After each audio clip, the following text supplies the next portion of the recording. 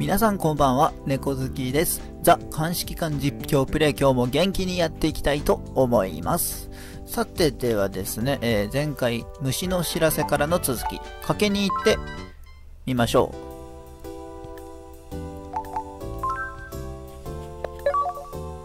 う。ん、早速。あ、古畑博士、何かわかりましたか？えーと、樹脂からは、えー、結婚のようなシミと、えー、頭皮頭皮が発見されたらしいが、えー、検視の結果もこれを裏付ける。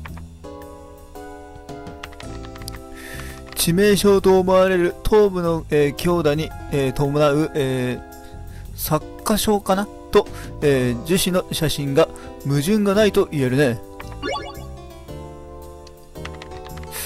次の解剖があるのであとは資料を見てくれ。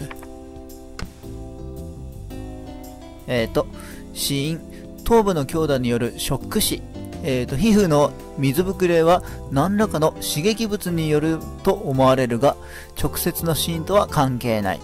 じゃあやっぱりあの、頭部にボーンってやられたのが原因か。えっ、と、通気だったっけな、えー、被害者の着ていたシャツに小さなシミがあった。ポケットから黒い粉のついた、えー、脱脂綿と、えーと、油性の黒の、えー、塗料が見つかった。ん？なんだろうね。黒い。皮膚の水ぶくれ。なんか虫に刺されたんかな？これは。シャツのシミ。あ、そうだ。シモーヌさんを呼ぼう。なーにあのー、これの、これを鑑定お願いします。了解。ちょっと待ってね。あの、ついでにこれも、了解。量が多いわね。確かに今回は多いね。あの、実はこれも、すいません。やれやれ。今日は早番だったけれど残業するわ。結果が分かったら後で連絡するね。ほんとごめんなさいね、ほんとね。早く帰りたい気持ちはね、わかるよ。じゃあいろいろ見てみようか。これは、植木さんかな？これ、一見、青すぎ、青筋アゲハだけど、写真だからよくわからないなぁ。何か不審な点でも確認するには明日も、えー、伊豆に行くしかないな。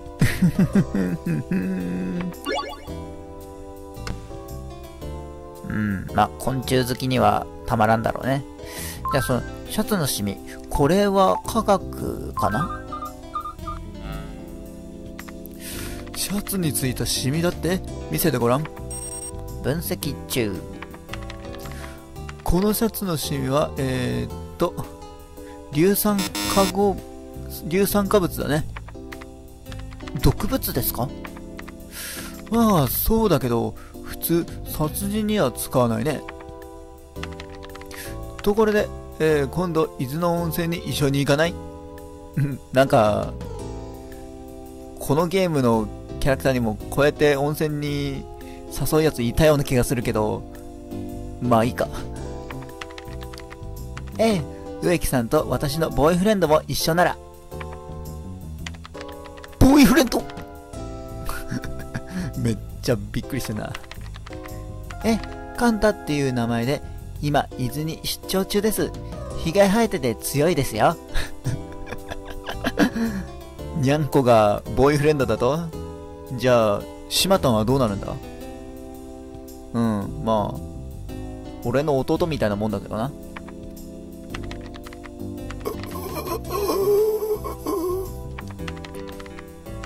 尻尾も生えてますけどね。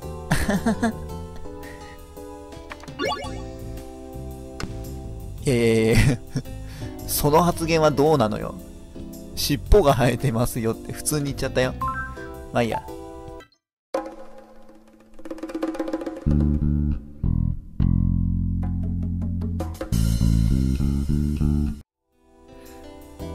では考察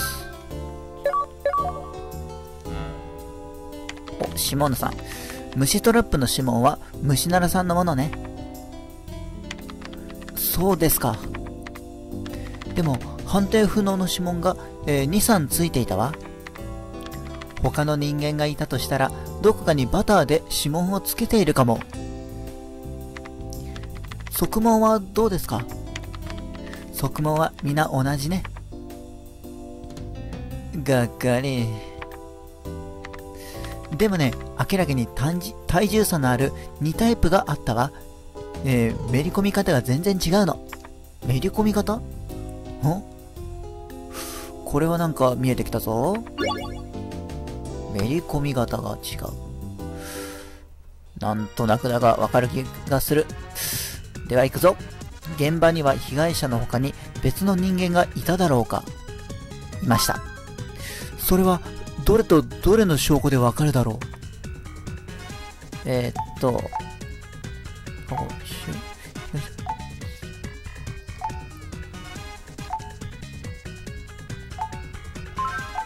これだな。この2つだな。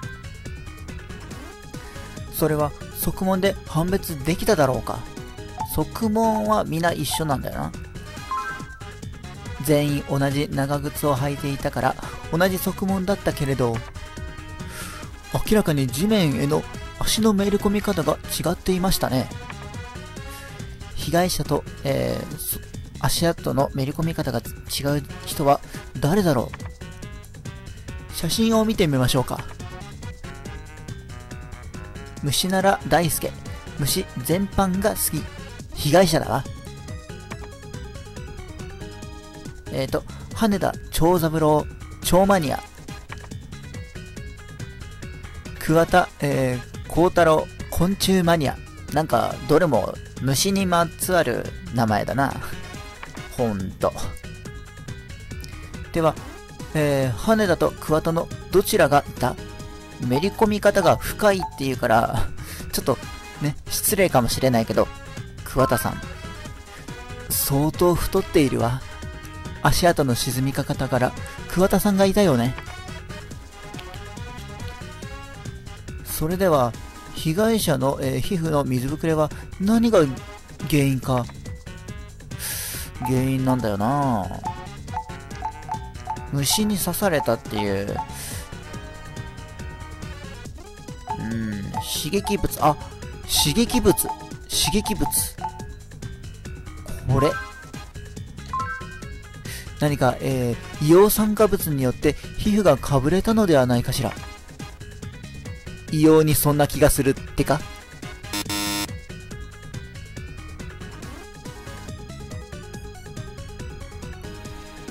えー、っと、虫ならの死亡に関わったのは、えー、桑田貴様だ桑田が現場にいたことは、えー、確かなようね。でも、まだまだ全然わからない。殺人だと仮定しても動機が見見当つかないわ。でも、羽田も桑田も明らかに何かを隠していますね。明日また伊豆に行く必要があるわね。大体ですね。カンタを拾ってこなきゃかわいそうですよ。あ、あ、それ忘れたら。そうだよ、しっこちゃん。あの、もふもふポジションのやつがいないとダメでしょ。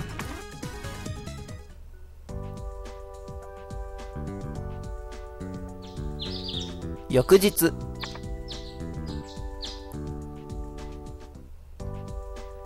では、えー、もう一回、天城山行ってみましょう。また暑くなりそうねもぞもぞん？もぞもぞ？どうしたんだしきこちゃん？あしきこひどいじゃねえか。俺を置いて帰るなんて。たたるぞ。どうしたんだろう？カンタまでなんかもぞもぞしちゃってるよ。帰ってこないあんたが悪いんでしょ？うーん。もぞもぞが気になる。何をもぞもぞしているんですか？いやなんだか昨日からかゆくって俺もだにゃ。それなんか虫に刺されたんじゃない？そういえば昨日もぞもぞしていた人がいたわね。誰だっけ？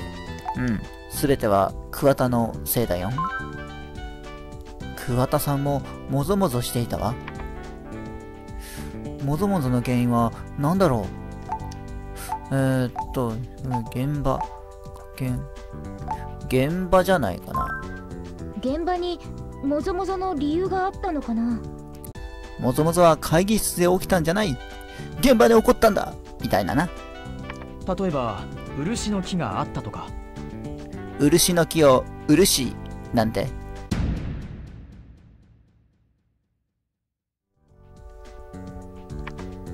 とにかく現場に行こうぜ。大きな変化はないわね誰も来た気配はないわ。漆の木も特に見当たりませんね。カンタ虫トラップはどう？なんかいるぜ。食えるかな？あんまり食っちゃダメだぞ。あ触らないで。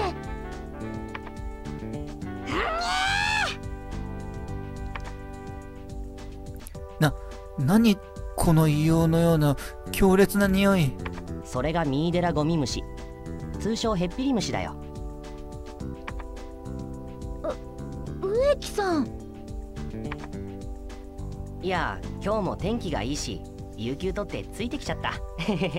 そんなに有給取ってたらいつか大事な時に有給取れなくなっちゃうぞ。ありがたいよな。邪魔っ気ないよな。ヘッピリムあれ？植木さんはもぞもぞしていないわ。この辺にはヘッピリムシがたくさんいるようだね。触っちゃいけないよ。もう遅いぜこの野郎。あれ？この猫君の？なんかもぞもぞしてるけど見せてもらっていい？えー、あのその凶暴ですから気をつけてほーれかわいい猫ちゃん。お腹を見せなさい。あ取れた。こいつだよ。お？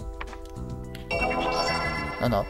ツツガムシこれが原因でもぞもぞしてたんか。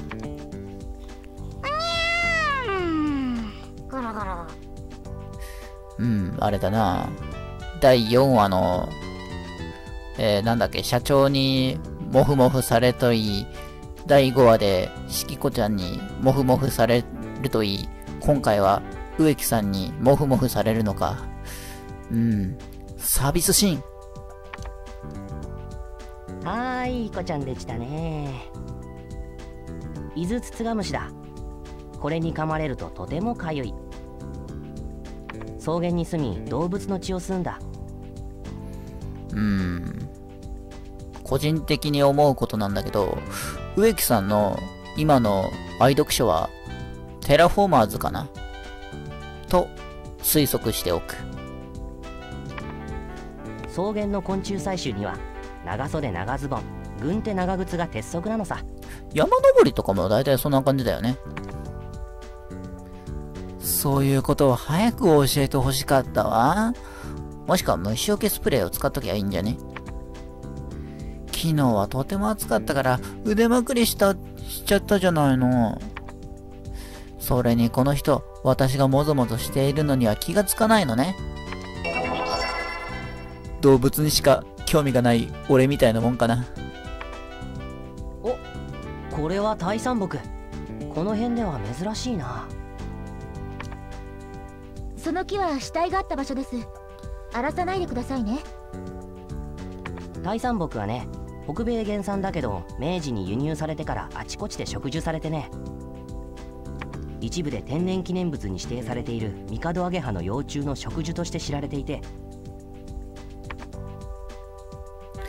ありがたいような。邪魔けないような。多分ね、虫に興味がない人らには、こういうことあるんだろうね。俺結構嫌いじゃないけどね、こういう話されるのは。でも一応、大山木とかの葉を拾っておきましょう。でも蝶々の餌になるみたいなこと言っとったけ、もしかしたらってこともあるかな。現場に大きな変化はないわね。そろそろ宿に戻ろうかしら。よし、では、えっ、ー、と、旅館に行ってみよう。あ、江波捜査官。何か分かりましたか？ええ、いろいろと。早速話を聞きたいと思います。誰からなんすか？えー、っとね、まあ、桑田さんやな。今日は熱が出て、ずっと寝ていたよ。なんだかすごくかゆいし。どこがかゆいですか？例えば、このふくらはぎ。写真を撮らせていただきます。あらま、がっつり噛まれてんね。長袖は着用しないんですか？分かっちゃいるんですけど太ってるんで暑いんです。痩せろよじゃあ。昨日採集された虫をお預かりしてもいいですか？えどうしてもですか？絶対返してくださいね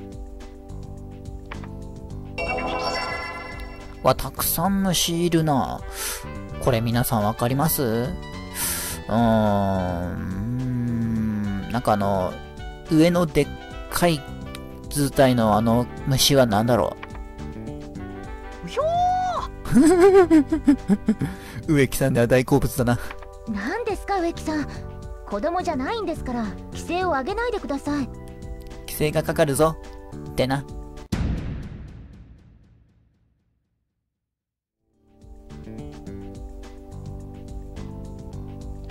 これは伊豆治虫確か1996年以降に最終の記録がない幻のああの本当に絶対返してくださいね。植木さん触っちゃダメですよ。これは話してあげなければ幻の種ですから。な何ですか？法律に触れるわけじゃないでしょ。僕のものですからねこいつはお説教野郎なんだよ。あなたたちとは意見が違うようですね。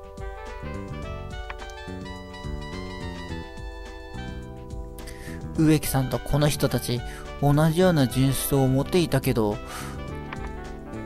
え植木さんは立派な方ですね。まあね虫いっぱい取りすぎるとこうあのねなんていうか、繁殖ができなくなっちゃうからね。じゃあ、羽田さん、聞いてみようか。今日は大量だったよ。あ、本当だ。いい刀が取れましたね。ん？わかる？オタクなかなか目が利きますな。でも、数が多すぎますね。少しは加減しなきゃ。ほっといてくれよ絶滅危惧種じゃないだろ。あんた環境保護オタク？ただの虫好きですよ。僕はデジカメで撮影すれば満足なんです。偉そうなやつだね。保護活動なら俺だって色々やってるよ。何をやってるんだろうねでは、おかみさん、聞いてみようか。この辺りの名物、そうですね。温泉と新鮮な魚介。ああと、柑橘類は有名ですね。この辺りは関東と植生が違うので南方系の種が採集できるんですよねああそうですかえあんまり分かってなかったのかな？まあ別にいいんだけど。でも、おかみさんはそんなに怪しくはないと思う。今回はね。じゃあ、落ち葉さん聞いてみよう。お二人とも、この宿には明日まで宿泊の予定です。天城所では現場の足場が悪いことから、転んで頭を打ったすなわち事故であるという見方が固まりつつありますこのまま何もなければ四国にお帰りになると思いますがそれがどうなるかだな。明日までに真相を明らかにしてみせますよ。えー、帰っちゃうの？もっと虫の話をしたいよ。昆虫採集の倫理とか。植木さんこれは仕事ですよ。はーい。でも植木さんは今、有給取ってるから、それ別にいいんじゃないかなと思うんだけど、ダメかな。被害者の虫かごと2匹の蝶も資料として提出していただきたいのですが。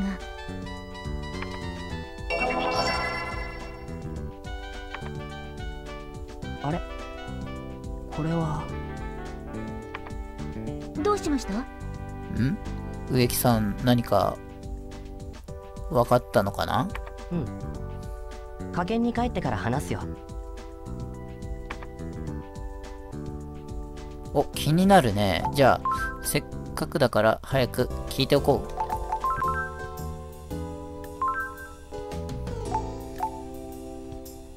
う。うんと、刺さる、科学。担当じゃないか。行為かな？あ、古畑博士。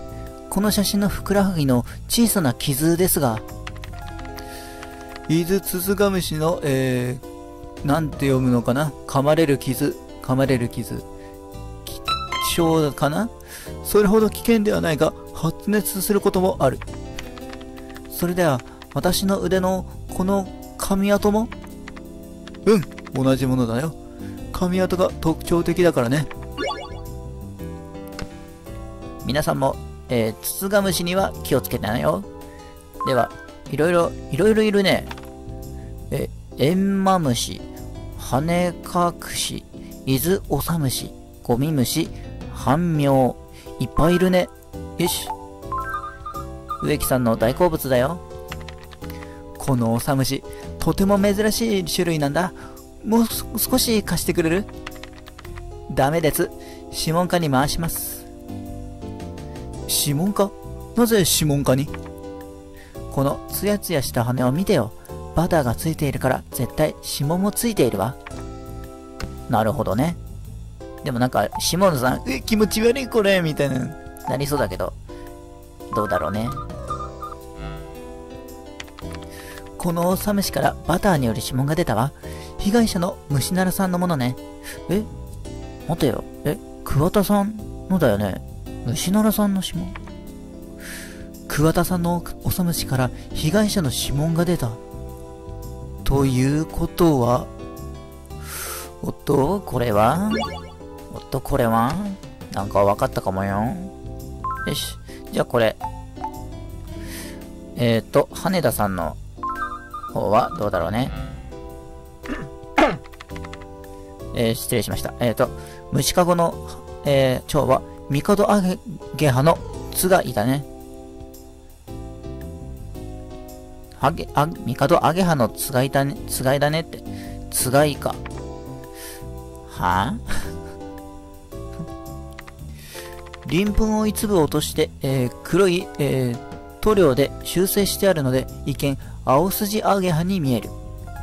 確か、あの、写真の方は青筋アゲハって言ってたね。なぜそんなことを？さあ、大体帝は伊豆にはいない。え伊豆に話していたとしたら、生態系を乱すことになるな。成虫はみかんの、えー、葉の蜜を吸うから、温厚な伊豆なら生きていけるかもしれないが、繁殖はしないはずだ。ん？植木さん、帝幼虫が食べる、えー、大山木の、えー、木が現場にあったでしょ？ああ、ああ、そうだったね。虫以外のことは上の空だったんだね。え、ってことはあれ、偽装してたってこと？なんかな一見青筋アゲハに見える。しかし、実際は、えー、帝アゲハのつがい。ーん、なるほどね。じゃあ、考察。さて、証拠も揃ったし、明日は犯人を追い詰めてやる。空回りしないでくださいね。手がかりは死体の近くの足跡が2種類あったことね。一つは被害者のものだとして、もう一つは犯人のものでしょうか。翌日。この回で犯人を見つけ出してやるぜ。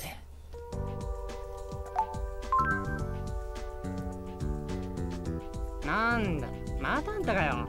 もう帰るところだよ。僕のオサムシは返さないと訴えちゃいますよ。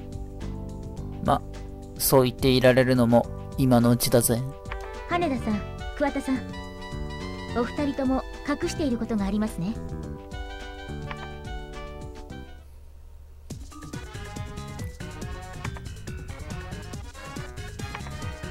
死んだ虫ならさんと誰かが一緒にいたのはこれらの証拠から明らかです。まずこの現場の足跡。そしてこの足跡も。これらは現場に2人の人間がいたことを示しています。それを証明できる2つの物証を、確か温泉宿で入手しました。その証拠はどれとどれですか？えーと、2人がいた証拠。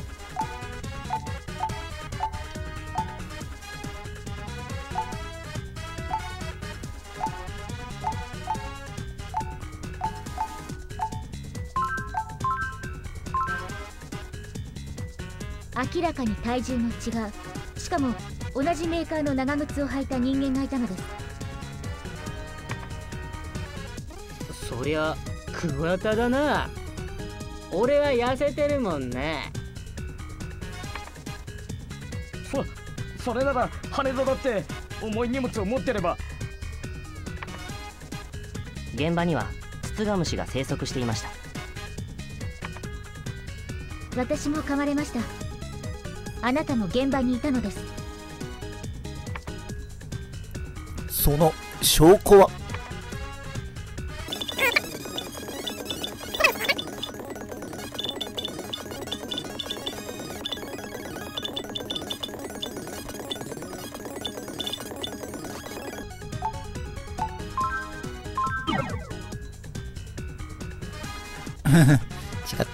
ったね。ツツガムシの特徴を示すものがあります。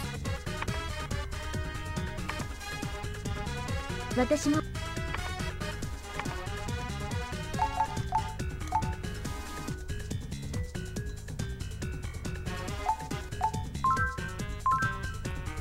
そうだね。それに羽田さんはツツガムシに噛まれない理由があったのですツツガムシの噛まれ方って特徴があるんだったよね。えー、っと、服装。羽田さんは長袖長ズボンの完全装備でしたツツガムシなんて別の場所にもいるかもしれないじゃないですか確かにそれだけでは決め手になりませんでしたがこれが決定的な証拠ですね。これだよ、これ。シモーヌさんがやってくれた。これ。桑田さんあの日虫ならさんと別々に行動していたとおっしゃってましたよね。おう。あなたの採集したオサムシになぜ虫ならさんの指紋が？チコだったんですよ。たまたま同じ草地に虫ならくんもトラップをかけていて僕が仕掛けたトラップにあの伊豆オサムシがかかっていたんですが後から来た虫ならくんが僕が盗んだんだろうって。奪い合いになったんです。その時ニーデラを投げつけたら虫ならくんは飛び下がって頭をぶつけて倒れて怖くなって逃げ帰ったんだ。まあ確かにな。植木さんが言ってたのが実にこれだね。信じてくれよ。事故だったんだ。桑田が隠したりしなければ事故として処理されたかもしれないわ。でも裁判官がどう判別判断するかはわからないけれど。おそらく過失致死になるでしょう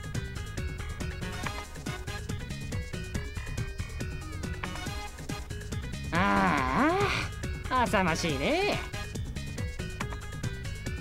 羽田さんあなたのしたことも感心できませんね。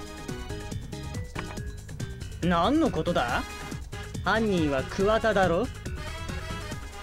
これをどう説明しますか？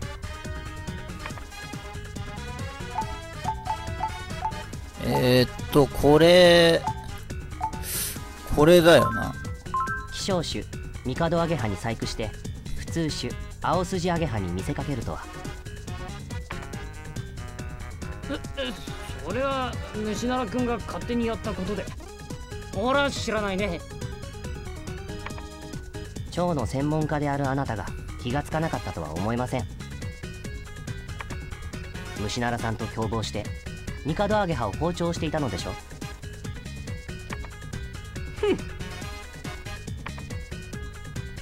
何回か伊豆に来るうち幼虫の、えー食食樹である、えー泰山木の存在を知ったからなのね。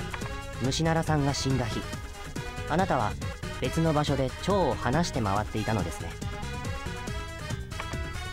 特に悪いことしたとは思ってないね。わざわざ青筋アゲハに見えるように擬態させてあげたのも親切だろ。親切？しばらく発覚しないための工作でしょ。この温暖化が続けば遅かれ早かれ伊豆も帝の生息範囲になったさ。大山木だって人間が持ち込んであちこち植えたから広がったんだ。蝶の神様だって同じ意見らしいぜ。今日も珍種が大量さ。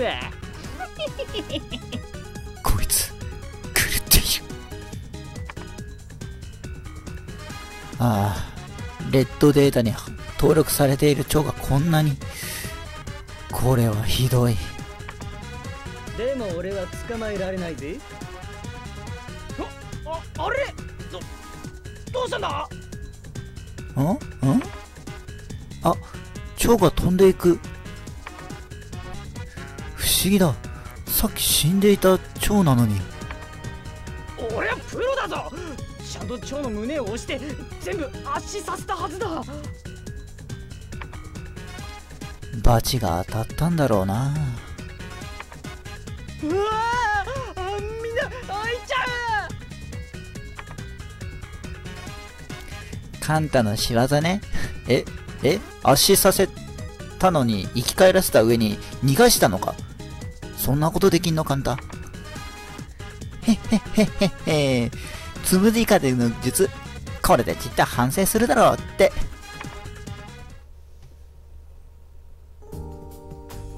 というわけで事件解決か。今回は植木さんの大活躍でしたね。あれ猫好きの活躍はないんだろうね。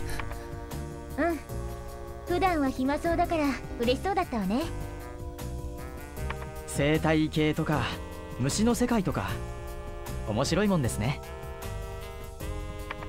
それにしても俺を置いて帰ったのはひでえにゃ。あんたが帰ってこないからでしょ？向こうで何をしていたの？伊豆で大繁殖している台湾リストハクビシンを食べてみたかったにゃ。大丈夫かそんなもん食って。こいつが生態系の頂点ってやつなんでしょうか？有頂天になっちゃダメだぜ。ってな。